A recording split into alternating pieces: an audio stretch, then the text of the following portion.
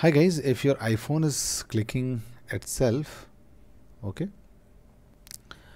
uh, on the screen okay random clicking is happening on iphone by itself then the very first thing is what happens when sweat or some fluid water you know is on your screen these things starts happening. So the best way is to take a microfiber cloth and clean the surface dry okay so this is the first method which works for most of the cases. Now the second thing is it may happen that your screen protector has gone faulty and you should try removing the screen protector from the iPhone. Okay, so this is the second fix. Now the third fix is you can try resetting all the settings.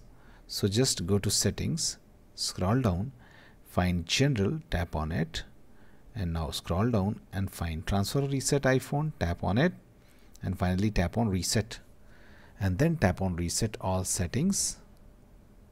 Okay finally when you will reset all settings the iPhone will reset all the settings of iPhone.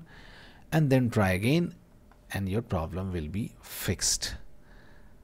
Now one more complaint is that so whenever uh, someone say uh, some users are saying that when they are connecting the iPhone to uh, lightning cable and then it, the problem starts. So in that case your lightning cable may be faulty and you have to change your lightning cable. You you may need to change the lightning cable.